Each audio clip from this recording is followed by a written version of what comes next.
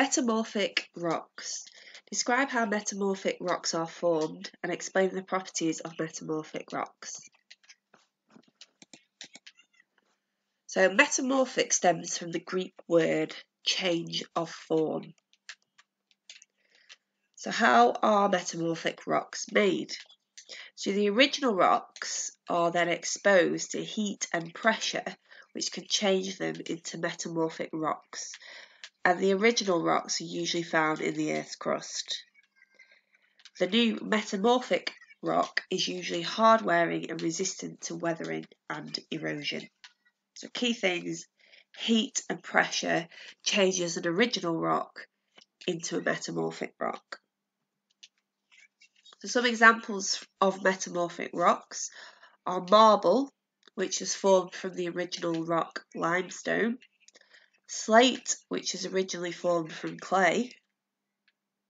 The next one I can't pronounce, but it's formed from sandstone or shale.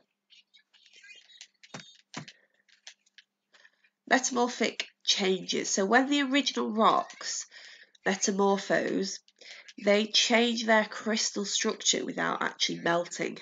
So the new crystals that form, or recrystallization, and the structure of the rock changes permanently and this happens quite often around volcanoes.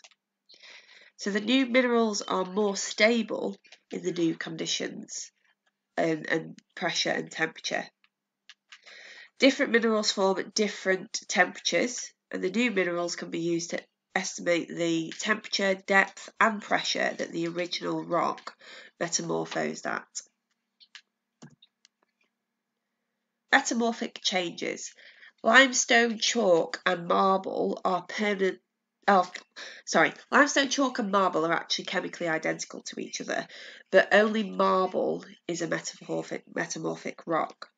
So metamorphic rocks are hard and shiny, and marble is a classic example of that because it's extremely hard and it can be polished to be extremely shiny.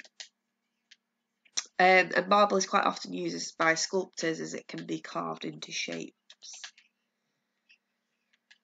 So some information about original rocks and what metamorphic rock forms and what its use can be. So sandstone, which is layered sand grains, can form the metamorphic rock quartzite, which is much harder and the original layers get destroyed and it can often be used in, for building stone.